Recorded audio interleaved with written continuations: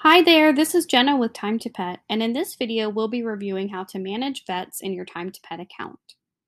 One of the most difficult things a pet sitter faces is a medical emergency for one of the animals in their care. During a medical emergency, having accurate and quick information for the pet's veterinarian is a must.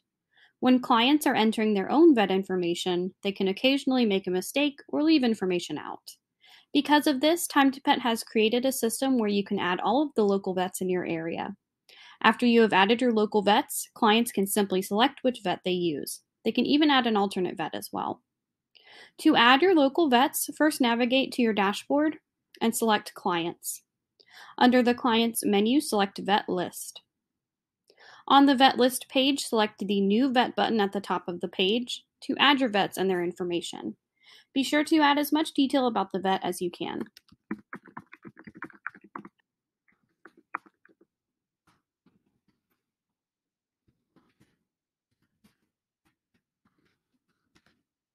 Click Save Changes at the bottom of the screen when you're done.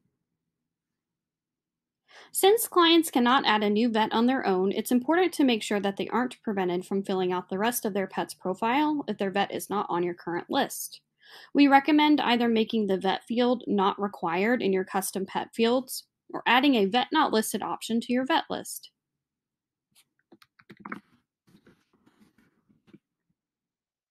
Clients can then select the vet not listed option and put in the additional information for their vet in the notes section of their profile.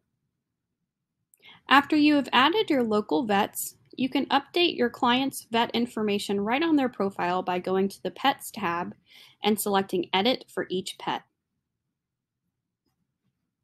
Here you can select from the primary and alternate vet drop-down menus and even click New Vet to quickly add a new vet to your vet list.